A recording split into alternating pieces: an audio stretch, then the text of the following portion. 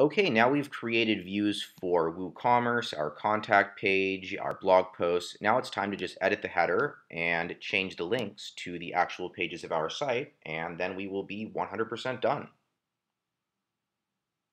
So I'm going to go ahead and change this home link to our homepage.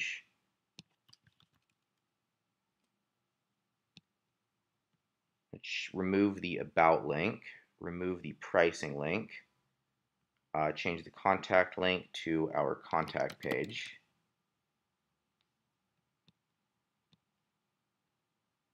Uh, change, okay, we already have a blog link. We're just going to change this to our blog page.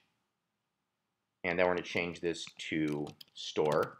And we're going to link that to our shop page. Okay, that's done. Let's go to our new website. So here we go. Here we've got a home page go to the contact page. We've got our blog. We can look at individual blog posts. We can see all blog posts in a specific category. We can go to our store,